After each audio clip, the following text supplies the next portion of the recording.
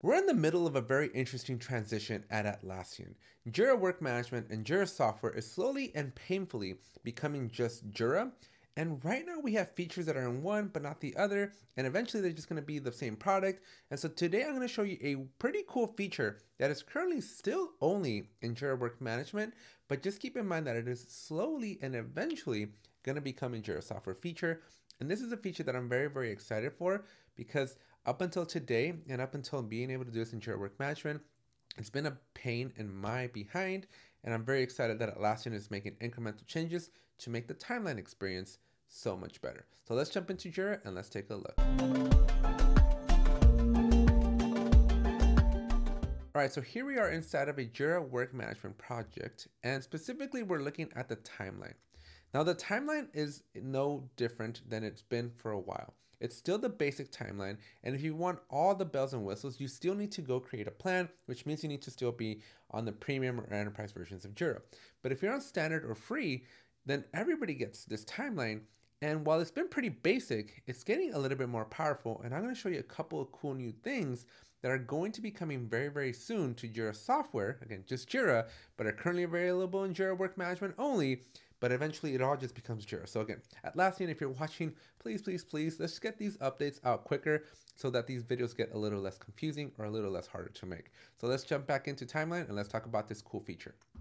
All right, so if you've ever used the basic timeline inside of Jira, then you know that you can hit the create button here and you can essentially create an epic, right? So I can go, this is my second epic. And when I hit create, that epic is created.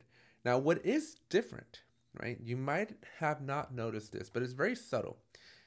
In Jira software, this says create epic. Inside of Jira work management, it simply just says create. And this is very, very important because Atlassian is basically really doubling down on this whole concept of like system of work and this idea that no longer are we restricted by the framework of agile to make our decisions on how we work, but rather you as the individual customer, get to decide what work looks like. And that could be anything you want it to be. And as such, Atlassian is making these very subtle but very important and necessary updates to eliminate words like create epic. And so when you hit the create button, you can create whatever you want, right? So you can create your epic, your story, or your task. And that, my friends, is very, very powerful because again, Atlassian's given us control. Atlassian's given us the power and authority to have a very generic Jira that is going to allow us to basically track the work that's important to us in our business, which may not be the same thing that Agile wants you to be tracking. So that's very, very important here. Now, it still breaks my heart. Atlassian's slowly killing Agile, in my opinion, but it is for the better. All right, so back to the timeline here. When I'm in my timeline, I can go back to that epic I just created, hover over it, and click the little plus button here, and I can create a child issue. And so this is gonna be my second task, all right? And what's cool here is you can obviously default to a task, or you can change it to a story or a bug if you have it. But you just simply hit the create button, and that nested item is going to be created. So at this point, you may be asking, Alex, well, a little clickbaity, where's the new stuff, right? Where's the cool stuff? Well, let me show you what happens next, because this next part is really where now Atlassian starts to confuse me a little bit because we're starting to blur the differences between premium and standard. We're starting to blur just capabilities and overall functionality of how this thing works because up until this point, when you create or when you're utilizing the timeline, the buck stops there. You're able to see your epic and you're able to see your task or your story, and that's it. You get a little tiny little icon if you have a subtask to show you like, hey, this story or task has subtasks, and you get this tiny little icon.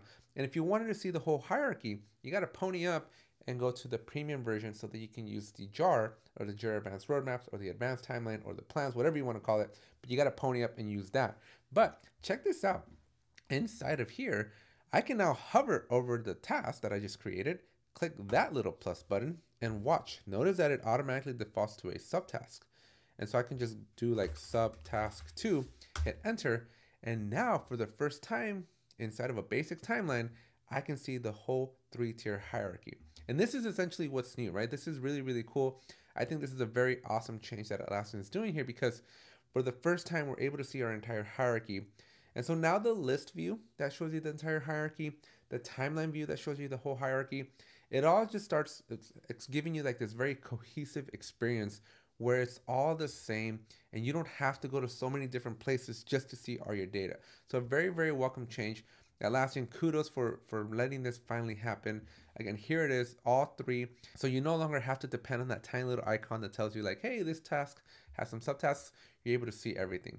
Now we're also able to put dates on everything, which again is a really, really cool thing because previously this was only a Jira premium only functionality. So this is kind of cool that the basic timeline is able to do this. So I can't wait for Atlassian to finally bring these capabilities over to Jira Software because in Jira Software, we're still very much limited in the old way.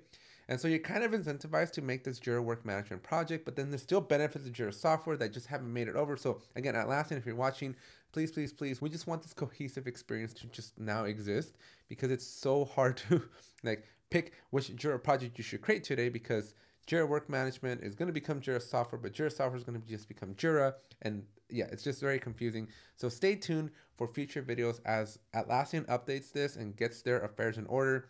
I will make new and updated videos for you all so you're always up to date. Well, that's it for this video. Make sure you check out that link in the description down below.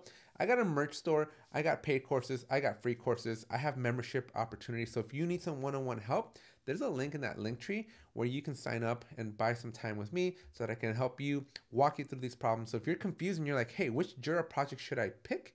I'm very, very confused.